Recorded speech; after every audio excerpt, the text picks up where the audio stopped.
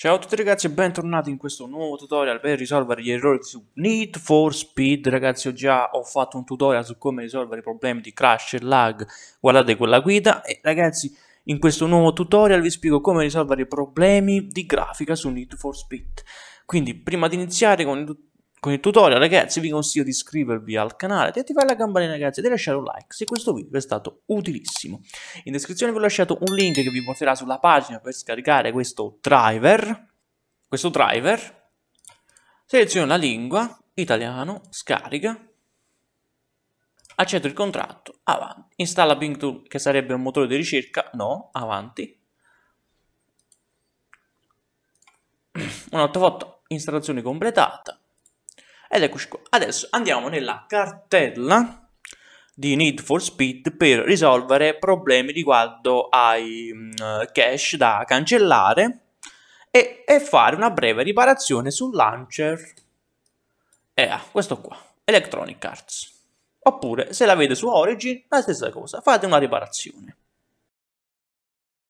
Eccoci qua nella cartella di Need for Speed, ragazzi, andiamo un attimo su Shader Cache, questi sono i file che dobbiamo cancellare perché una volta cancellati, ragazzi, dobbiamo anche fare una riparazione su Electronic Arts come ho detto prima e poi si, si farà di, di, nuovo un ripristino e ritorneranno di nuovo qua più aggiornati. Quindi cancelliamo questi due file.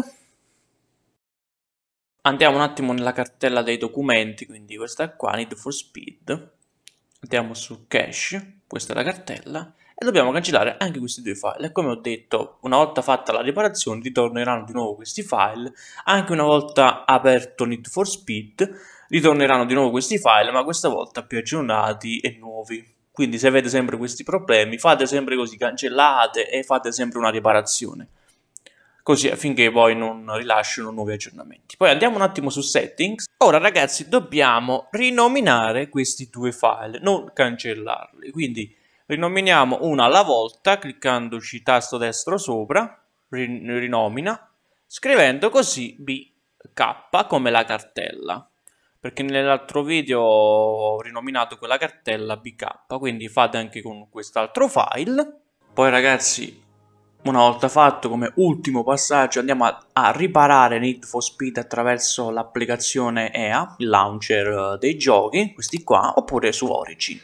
Quindi ragazzi, uh, grazie a tutti per questa visione, iscrivetevi al canale e noi ci vediamo ad un prossimo tutorial. Ciao!